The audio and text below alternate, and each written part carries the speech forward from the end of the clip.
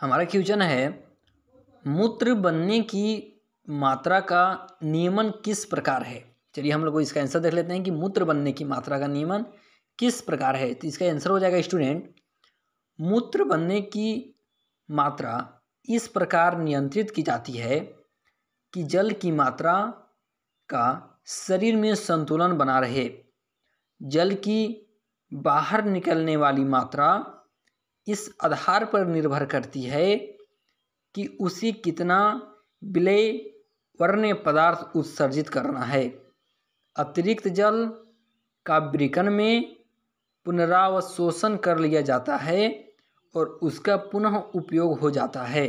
तो इस तरह से मूत्र बनने की मात्रा का नियमन होता है।